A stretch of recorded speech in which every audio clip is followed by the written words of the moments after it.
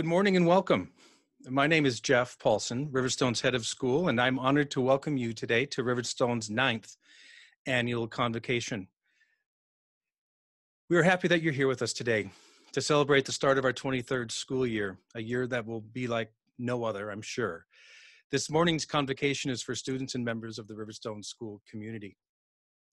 Each year we start our convocation with a heart of appreciation. Appreciation for this day, appreciation for the many people who have worked so hard to make what we enjoy today possible, appreciation for the diversity of our community, and appreciation for collective sacrifice in pursuit of a higher goal. The 2021 school year promises to be a new and different year, one worth celebrating. I am so pleased our school was able to open as planned today. We have partial student groups on campus using modified schedules for the first two weeks. By limiting the number of students on site at the start, we are able to practice safety protocols, get used to all that is new about being in school this year, and to ensure the safety and health of all community members. Riverstone's blended learning plan is unique and allows for flexibility and choice, continuity of teaching and learning regardless of public conditions, and academic excellence. Regardless of the learning platform being used, learning will continue this year at Riverstone. Parents, thank you for being here. Thank you for your confidence and trust, and thank you for partnering with us and for believing in our school. Faculty and staff, thank you for making it your life's work to serve and mentor young people. One of my favorite quotes is Every child is one caring adult from success. So let's make sure Riverstone students are surrounded by more caring adults than they can count. And students, thank you. Thank you for your commitment to step up and to do your best day after day, month after month, in a learning year that again will be like no other.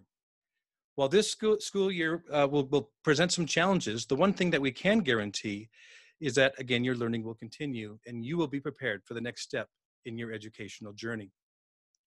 Special recognition for virtual students participating today um, and a big round of a big round of applause and a, and a shout out to you in China, Vietnam, Kazakhstan, Morocco, Brazil, Mongolia, Russia, Ukraine. We look forward to welcoming you in person on campus as soon as that is possible. As I told Riverstone staff last week, I need everyone to lean forward this year. I need you to seek opportunities for impact. I need you, you to embrace the change that we all know that needs to happen this year. This will not be a normal year, but it's going to be a great year. It's going to be a fun year if we embrace all the newness and ambiguity that comes with it. Collectively, there's nothing we cannot accomplish if we work together with a forward thinking mindset and the confidence knowing that by asking the hard questions and meeting the challenges that we know are going to be we're going to be presented with head on and with confidence we can turn future challenges into opportunities only by embracing the ambiguity of the coming year can we stay ahead of the conversation and seek impact in ways that truly benefit our students, our faculty, and our community? This is truly an exciting time to be in education. Let's embrace the challenges, let's turn them into opportunities, and we're going to have a great year. I would like, I'd like to offer a few final thank yous. To the Riverstone Board of Trustees, your confidence, your support, your leadership, um, under the direction of our board chair, Tom Mahoney, makes all the difference in the world. I thank you for your volunteering countless hours with selfless sacrifice to support and set the direction for our school. To Riverstone's Parent Association, under the leadership of Michelle Ninov, thank you for working so hard to build a strong sense of community and raising resources in support of the, of the programs and our students and our faculty. And finally, again, to Riverstone faculty and staff, thank you for bringing our, our programs alive and for inspiring our students. Great teachers have great, great schools have great teachers, and that's certainly the case at Riverstone. A favorite part of convocation is our class roll call, where we introduce our classes, youngest to oldest. If we were sitting in the gym, I would ask each cohort group to stand and we give them a round of applause, but obviously we can't do that today. So I'm going to read through each of the cohort groups and in your classrooms, kids, I, I hope that you do stand and cheer and celebrate this moment because you're a major and important part of our school. If you're in preschool or you're please stand in your rooms. If your parents, please cheer. This is the class of, believe it or not, 2035. Our pre kindergartners are the class of 2034. Our kindergartners are the class of 2033. Grade one, you're the class of 2032. And grade two, you're the class of 2031. Grade three, you're the class of 2030. In grade four, you're the class of 2029. Grade five, you're the class of 2028. In our middle years program, again, I'd like you to celebrate your year and your accomplishments in our school as well. Grade six, you're the class of 2027. Grade seven, you're the class of 2026. Grade eight, you're the class of 2025. And now to our high school. Grade nine, you're the class of 2024. Grade 10, you're the class of 2023. And grade 11, you're the class of 2022. And finally, our seniors, the largest cohort group that we have at Riverstone, you're the class of 2021. You're this year's seniors. You're our leaders this year, and I want you to look around and to soak it in. The moment is almost surreal. We couldn't have predicted it, but it's been a long time in coming, and it's worth savoring. I know this year's seniors will be a very special group to me, to our school, and to all of our community as we learn together to do our best to make sure that this is the best year possible. This is going to be a year that we're going to be proud of. And I'd like everybody to give the class of 2021, wherever you are, a round of applause and a big smile.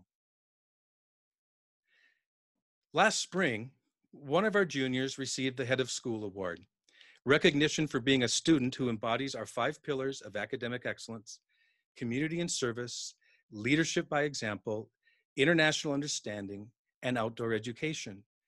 She is our featured speaker this morning. And this year, it is my honor to invite Louisa Goldtree to the podium as our featured speaker. Congratulations, congratulations, Louisa. Please welcome Louisa. Hello, everyone. My name is Louisa Goldtree.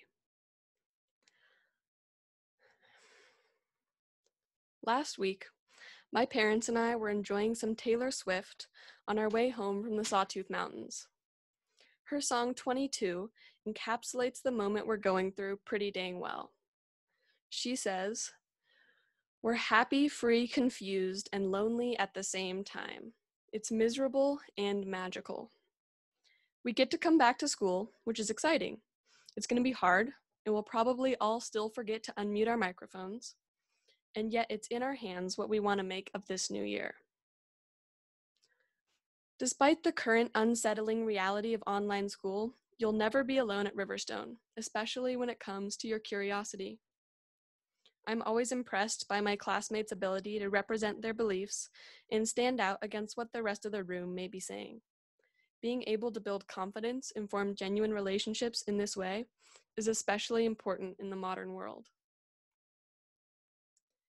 There is so much that is out of control in our world right now. We can point to discrimination and injustice, human induced climate crises, or ongoing pandemic to affirm that. But in this school, we continue to strive for diversity in ideas and in culture, and diversity is greatly needed to solve the problems we have at hand. We are the students that will shape society into what we want it to look like. And what greater role models to look to as we do this work than our teachers? They seem delighted anytime students ask a difficult question or try to figure out a new way to do something. The apparent joy they find in making us all better humans shines through their lessons. All the teachers and incredible Riverstone staff are leading the way with their resilience and adaptability as they spent their entire summers figuring out a new way of educating us. One of the teachers here that exemplified this kind of devotion to the Riverstone community was Jim Harper, his campfire stories would spill over into the classroom, and he had unrelenting faith in a Riverstone student's ability to figure it all out, after just the right amount of procrastination, of course. His door was always open, even if you were supposed to be in some other class. And his love of the outdoors and emphasis on cultivating individual passions are what made him, in Scott Peterson's words, a culture bearer of the Riverstone community. It's especially important this year for us to support one another and our teachers as we go forward without Harper's reassuring presence. He will certainly be missed and not forgotten.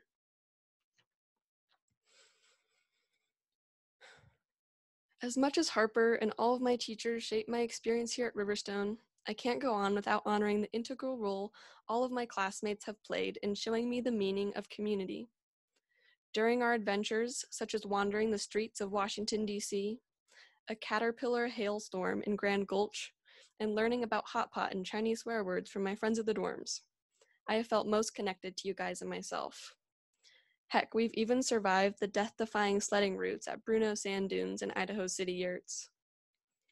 The outdoor trips have been essential for building self sufficiency and the ability to endure by relying on each other.